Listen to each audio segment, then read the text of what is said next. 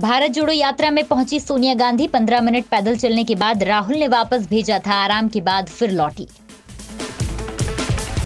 दक्षिण अफ्रीका के खिलाफ इंडिया की बी टीम प्लेइंग 11 वनडे पर मंडरा रहा खतरा।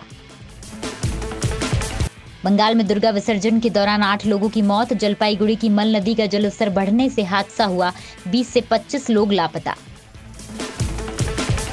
ताइवान में चीन से निपटने की तैयारी, अमेरिका वेपन्स जीपो बनाने में जुटा, मिलिट्री ड्रिल में नज़र आई, हर खामी दुरुस्त करेगा।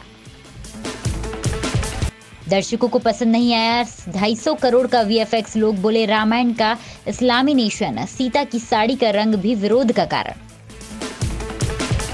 और मूर्ति विसर्जन कर लौट रहे तीन श्रद्धालुओं की मौत, रीवा में 40 लोगों से भरी ट्रैक्टर ट्रॉली पलटी 10 से ज़्यादा घायल।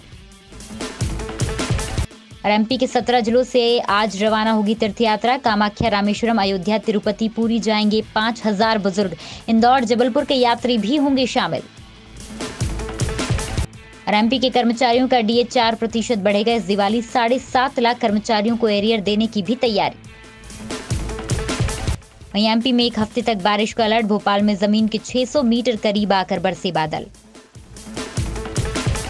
इंदौर ऑटोमोबाइल सेक्टर में रफ्तार दशहरा पर 140 करोड़ की गाड़ियाँ बिकी। इनमें 1200 कारें, ढाई हज़ार दो पहिया और 310 इलेक्ट्रॉनिक व्हीकल बिके।